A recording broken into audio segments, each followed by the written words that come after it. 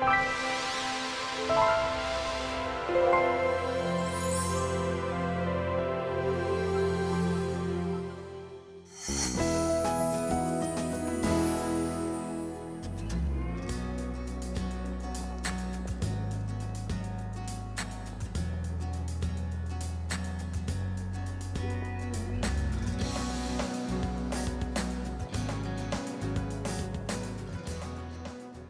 앞이 안 보였죠. 예를 들자면은 우리가 기존에 이렇게 뭐 장사를 하면 어느 때는 어느 정도 매상, 어느 뭐 때는 어느 정도 뭐 어? 활성화 이런 거를 이제 계산을 하고 장사를 하거든요. 근데 이제 많이 나오면은 거의 전멸하고 또 뭐 조금 나오면은 조금 풀어지고 이러다 보니까 계산을 못 하는 거예요. 그래서 사람이라는 거는 이제 앞이 안 보이면 막막하잖아요. 그거가 최고 힘들었죠.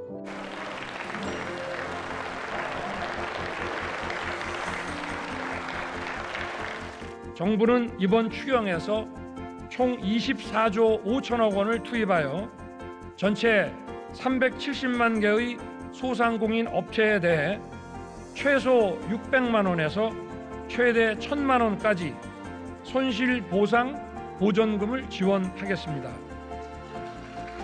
그리고 보상의 기준과 금액도 대폭 상향하겠습니다. 온전한 손실보상 크게 두 가지 트랙이 있다고 보시면 될 것 같습니다.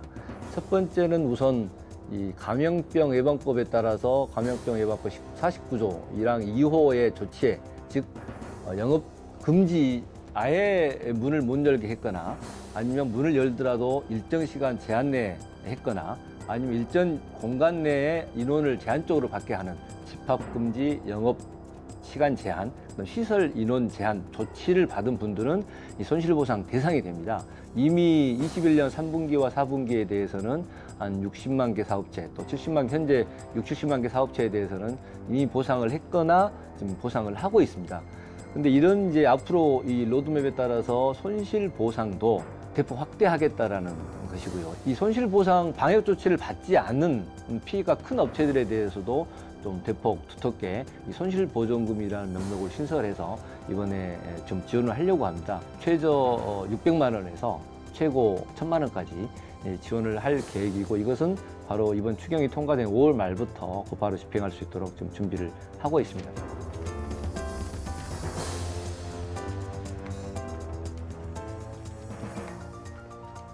금융 지원을 좀 더 강화해 줄 필요가 있겠다. 그래서 당장 필요하신 분들에 대해서는 긴급 특례 보증 형식으로 한 돈을 또 3조 원 정도 지원을 할 거고요.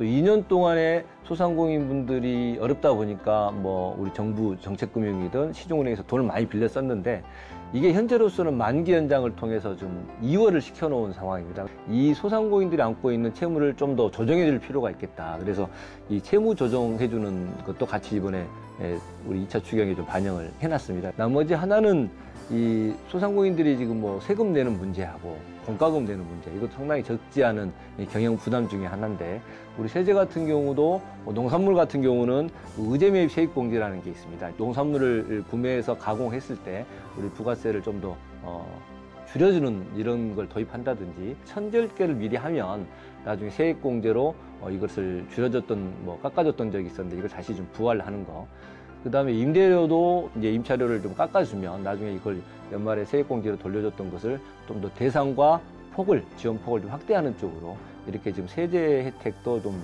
대폭 늘리는 쪽으로 좀 검토를 하고 있고 이미 추진 중에 있거나 앞으로 어, 또 추진할 계획입니다.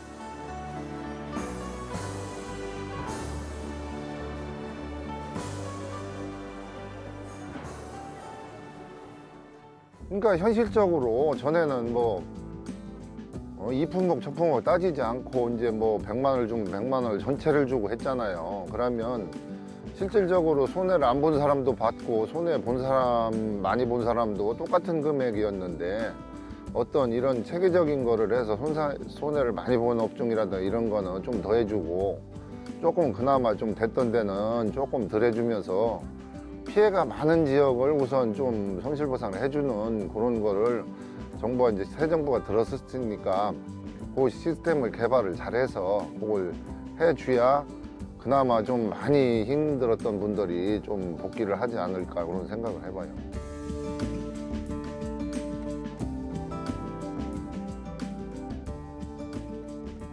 아, 이번 추경에도 어, 그동안 코로나19 파고를 넘지 못하고 불가피하게 문을 닫은 어, 소상공인, 소상공인들을 위해서 그 제도전 장려금을 저희들이 주려고 합니다. 그래서 폐업한 5만 개 소상공인들에 대해서 아, 100만 원씩 이 제도전 장려금을 통해서 다시 재기할 수 있는 지원책을 좀 드릴 거고요.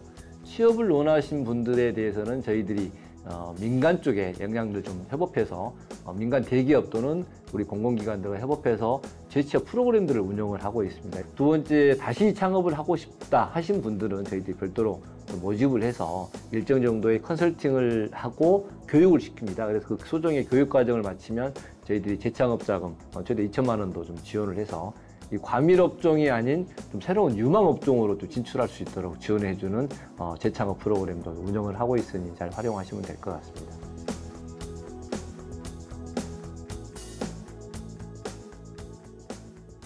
시장이라는 데는 뭐 온라인이라든가 이런 판매 시설 하던 거를 거의 못 했었거든요. 근데 이제 정부에서 그런 걸 지원을 많이 해주고 하다 보니까 그런 걸 개발을 해서 요즘은 배달을 많이 좀 시장에서 시켜가요. 요즘은 먹는 음식 같은 거는 잘 만들거든요. 근데 판매 루트를 모르잖아요. 그런 루트 같은 것도 개발을 해주고 하면 또 괜찮을 것 같아요. 기업가형 소상공인이 우리의 비전이고 이제 저희들이 가야 할 하나의 목표라고 한다면 이걸 실행 실천해 나가는 하나의 인프라 어, 방법론 중에 하나가 저희들이 이제 스마트화, 디지털화라고 보시면 될 것 같습니다. 고도화된 기술들을 좀 소상공인들이 필요하신 분들께 좀 저렴한 가격으로 보급할 수 있는 스마트 기기 보급 사업들을 하고 있고요. 우리 전통 시장에도 요즘 디지털화, 스마트화가 좀 굉장히 바람이 불고 있습니다. 그래서 대전에 있는 뭐 신도 꼼지락 시장 같은 경우는 자체 배, 배달 웹을 좀 만들었고 배송 시스템을 갖췄고 전국으로 이 배송 온라인 배송까지 하는 시스템을 갖추기 시작했습니다. 이런 시장들이 지금 전국에서 몇 군데 나오기 시작했는데 이런 디지털 전통 시장들을 저희들이 전국의 거점에 곳곳에 육성을 해서 좀 널리 퍼져갈 수 있도록 전통 시장도 디지털화 하는 것을 좀 지원을 하고 있고요. 지금 상권도 디지털 상권 르네상스라는 사업을 좀 하고 있습니다.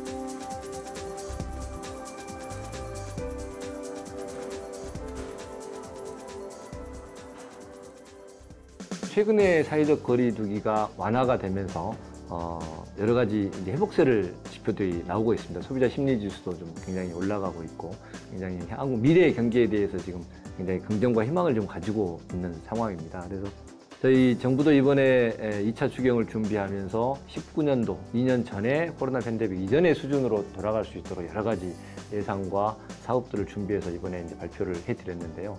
앞으로 이걸 실행을 함에 있어서 현장의 목소리를 더 겸허한 자세로 듣고 뭘 더 필요로 하시고 뭘 더 도와드리고 지원하고 같이 어깨를 같이 예, 걸고 나가야 될 것인지에 대해서 의견을 또 구하도록 하겠습니다. 새 정부가 들어서 경제가 어렵고 한 거를 인지하고 이제 들어선 정부니까 어, 우리 어, 상인들한테 어떤 희망을 주는 정책을 피면 우리도 기대가 많죠. 그러면 또 희망이 생기겠죠. 모든 국민이 소상공인이 힘든다는 거는 전부 알잖아요. 그러면 저희들도 거기에 어, 반해서 노력을 해가지고 희망을 가지면 되지 않을까 싶어요.